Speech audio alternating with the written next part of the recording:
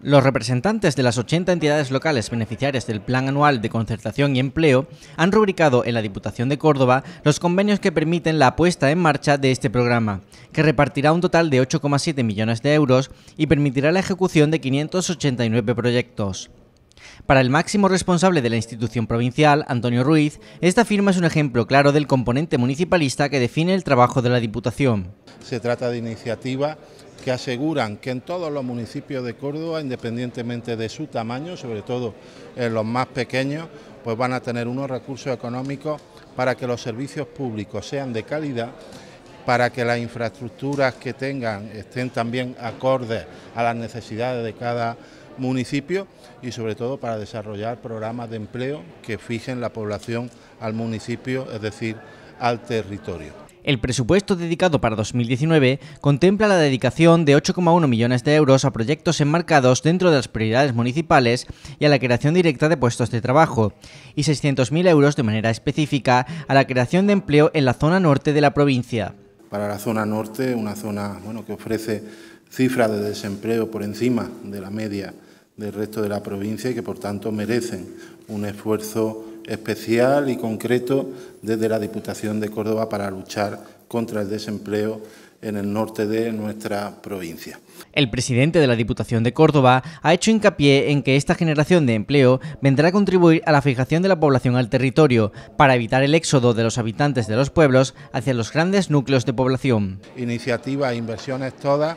que facilitan nuestro objetivo de poner nuestro granito de arena en esa lucha contra la despoblación. Por su parte, la delegada de Asistencia Económica a los municipios y mancomunidades de la Diputación de Córdoba, Dolores Amo, ha hecho hincapié en que gracias a esta iniciativa serán cerca de 2.100 los empleos que podrán crearse en la provincia de Córdoba, unos contratos que tendrán una duración de tres meses. Y tengo que deciros que en este año 2019 han sido 2.100 contratos los que van a facilitar, los que facilitan el desarrollo de este plan de concertación y empleo con una duración de 3,6 meses en cada uno de los, en los municipios, en todos los municipios de la provincia de Córdoba. El Programa Anual de Concertación y Empleo prevé un total de 13 líneas de actuación, con iniciativas vinculadas con la seguridad y la movilidad ciudadana, vivienda y urbanismo, bienestar comunitario, medio ambiente o limpieza y alumbrado.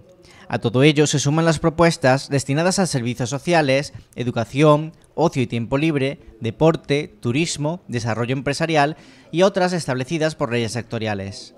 En otro orden de cosas, el presidente de la Diputación de Córdoba ha querido trasladar a los representantes municipales la participación de la institución provincial en el programa operativo FEDER que favorece la transición a una economía baja en carbono, que supondrá una inversión en torno a 17,5 millones de euros y cuyo plazo de solicitud se ha ampliado hasta diciembre de 2020. Y aprovechando esa circunstancia, pues también le vamos a informar a los alcaldes y alcaldesas que tenemos hoy aquí en la sala pues de la línea de subvenciones dentro del programa FEDER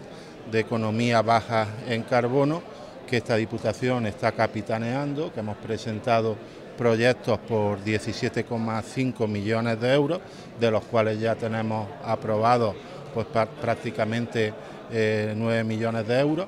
en subvenciones y que van a suponer ese cambio, ese compromiso de todos los ayuntamientos de la provincia por ese paso a la economía baja en carbono, por ese cumplimiento, por tanto, de los objetivos de desarrollo sostenible y por ese cuidado del medio ambiente con el que todos tenemos que estar comprometidos. A partir de septiembre, la Diputación de Córdoba pondrá a disposición de los ayuntamientos el registro, a través de la sede electrónica, de las nuevas demandas municipales que pueden encajar como proyectos que favorezcan el paso a una economía baja en carbono. La ejecución del conjunto de proyectos supondrá anualmente un ahorro energético para los municipios de más de 8 millones de kilovatios hora al año, por lo que se dejarán de emitir a la atmósfera un total de emisiones estimadas de 3.927 toneladas de CO2 al año.